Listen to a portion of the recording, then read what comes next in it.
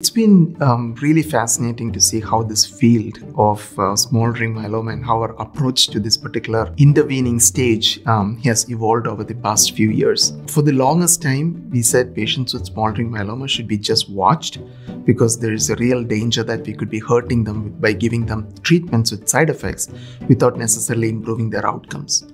Now, now we have actually better treatments, treatments which are highly effective with low toxicity or less side effects than what we had in the past.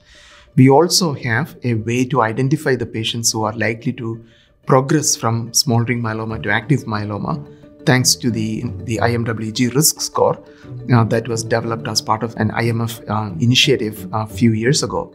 And finally, we actually have clinical trials um, that have proven that early intervention is actually uh, important or beneficial for patients with smoldering myeloma.